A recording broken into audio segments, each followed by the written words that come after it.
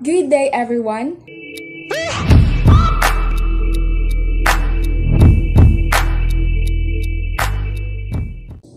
I believe that the idea of my poster corresponds to the VMGO of the Cebu Technological University. I draw a young man who smiles to represent all the students because he is grateful to have a home for a quality education that supports his soul as he strives to learn. In this vision, the institution sets a mission by mobilizing relevant strengths in a holistic approach to teaching and learning. It can be used to help students carry out further studies and technical education according to their area of specialization, which can be seen in the images that seem to come out of the child's mouth when he speaks.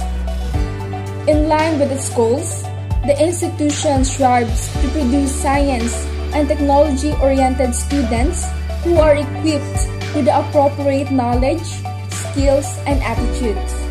So I drew four students wearing their graduation gowns and I also put a toga hat on the young man. Therefore, the vision, mission, and goals will help students find new avenues in the outside world.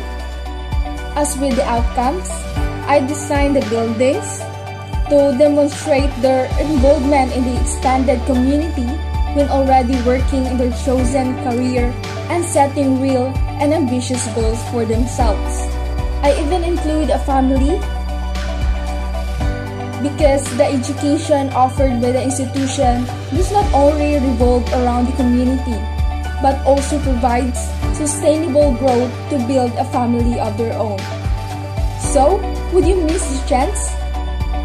Be now part of the CTU success because CTU make dreams possible. You were alone years and now we die. Silaba.